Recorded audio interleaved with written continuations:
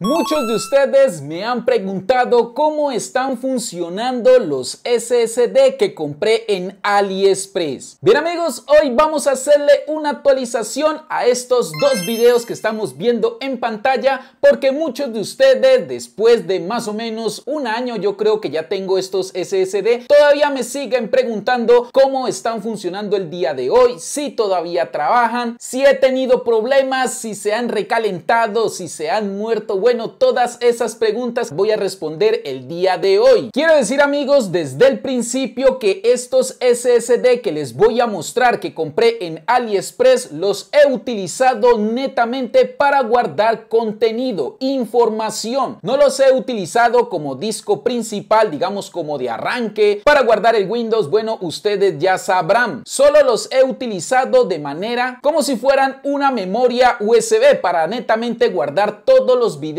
que subo en el canal. Partiendo de esta información para las personas que preguntan que si sirve para, digamos, como disco principal en una laptop, en un PC, no podría responder esa pregunta por lo mismo que les acabo de comentar hace unos instantes. Espero esta información aclare sus dudas y puedan sacar sus propias conclusiones. Quiero aclarar amigos que esto no es publicidad, no estoy haciendo ningún tipo de publicidad a las tiendas. Si yo les digo que algo me funciona perfectamente. Es netamente informativo para compartirlo con todos ustedes. Ya es de cada quien si se animan a comprar estos discos. Para entrar en materia amigos, este es el SSD de 512 GB que es de este video que estamos viendo aquí en pantalla. Este lo he colocado como unidad de almacenamiento de este mini PC que es de la marca, a ver, voy a ver por acá, Ace Magician, creo que se pronuncia de esa manera. Este PC lo compré en Amazon. Y estos otros dos que vemos acá creo que es de la actualización que estamos viendo en pantalla. Estos son dos SSD, todos tres cabe resaltar que son de la misma marca y estos dos SSD son de un terabyte cada uno que he comprado incluso esta basecita de la marca Unitec que me sirven como un case, como un hub creo que se llama para poder tenerlos acoplados y poder guardar la información más fácil. Realmente es bastante útil, incluso tiene un ventiladorcito en la parte interna al momento de que se enciende pues mantiene frescos los SSD y evita que se recaliente. Al igual este de acá le pega muy bien lo que sería el ventilador de la SSD. Y para resumir amigos, los tres SSD que compré en AliExpress a mí por lo menos me están funcionando de maravilla. Y ya vamos a pasar aquí al PC para hacerle algunas pruebas para que ustedes vean con sus propios ojos cómo están funcionando. Quiero también comentarles que tengo este de acá que es de la marca Crucial. Este sí es una marca digamos como reconocida ya entre muchas personas pues del tema de la informática y eso este sí me salió un poco más costoso. Casi el triple de estos que estamos acá que es de igual de un terabyte cada uno. Este también es de un terabyte pero me costó casi tres veces más. En pesos colombianos este me costó como 400 mil pesos colombianos en su tiempo que son más o menos como unos 100 dólares. Tengo estos varios almacenamientos. Este lo utilizo como almacenamiento portátil y estos sí ya como almacenamiento fijo. Lo he dicho en muchos de mis videos, no soy experto en este tema de la informática. Lo que les voy a mostrar son pruebas básicas que cualquier persona puede hacer en su computador descargando estas aplicacioncitas que las he mirado en internet. Aquí hago un pequeño paréntesis amigos mientras estoy haciendo la edición del video. Ustedes se preguntarán por qué no hice la prueba con esta mat. Quiero decirles de que esta mat que tengo aquí solo la utilizo para edición y para gestionar los archivos como tal utilizo esta pequeñita de acá que es de Windows, se me hace como más fácil utilizar la información. De igual manera, este cable que es el de poder, el que conecta, solo lo desconecto aquí y lo conecto en esta parte de acá que está conectada directamente a la Mac y puedo pues sacar todos los archivos. Pero en cuanto a organización como tal, de esto va aquí en esta carpeta, esto acá, utilizo esta de Windows que a mí se me hace más fácil que utilizar la Mac. Este de aquí me olvidé mencionar que este dispositivo tiene como una especie de copia espejo que tú colocas los dos SSD, pero te lo toma como uno. Todo lo que se guarde aquí se copia automáticamente allá. Pero yo he desactivado esa opción y prefiero guardar individualmente en cada SSD para asegurarme que los dos tengan la misma información. Bien, vamos a pasar aquí a lo que serían las carpetas y vamos a verlo acá de una vez. Miren, ahí está disco RB1 y disco RB2. Como pueden ver, tienen prácticamente la misma información grabada. Ya tienen más de la mitad grabado estos dispositivos, donde cada uno contiene muchísima información. Tengo aquí los videos, tengo videos por terminar, videos, bueno, ya hartísima. Miren, esta carpeta pesa 116 gigas, esta de acá pesa 222, esta acá pesa 52, esta de aquí pesa 52 y esta de acá pesa 42 gigabytes y cada disco tiene lo mismo. Y aquí también vemos el de 512 gigabytes que es el que está de manera interna en esta mini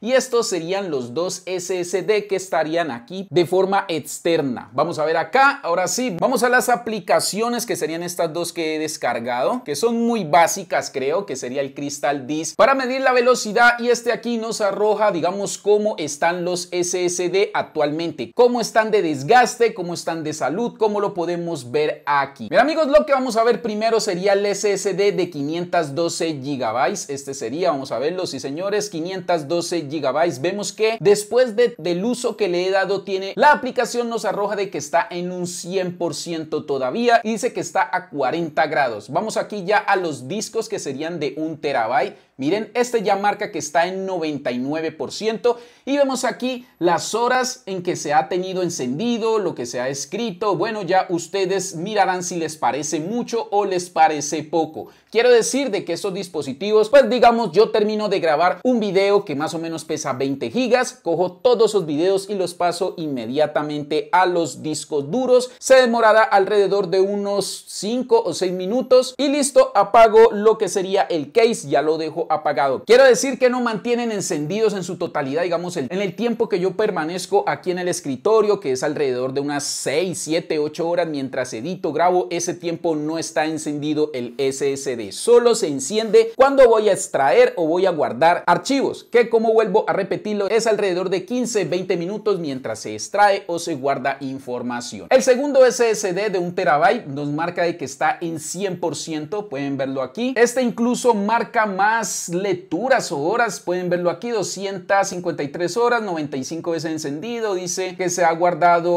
8 terabytes. Bueno, ya las personas que tengan más conocimiento pues sabrán interpretar esto con más facilidad. Este dice menos veces y menos gigabytes, como podemos ver acá. Este dice el doble, a lo cual me parece extraño ya que estos dos dispositivos se han utilizado de manera continua los dos a la vez para hacer las copias. Bien, voy a comenzar aquí a hacer alguna prueba para que ustedes vean el rendimiento de estas SSD de AliExpress luego de un año. Pueden ir a ver los videos que también hice pruebas al comienzo para que ustedes comparen si ha bajado la velocidad o sigue igual. Voy a comenzar con el más viejito que fue el primero que compré que sería el de 512, este de acá. Aquí le voy a comenzar. Vamos a colocarlo aquí también, 512. Nos marca en 100% y vamos a comenzar con esta prueba de velocidad. Voy a presionarle aquí y ya volvemos en un segundo.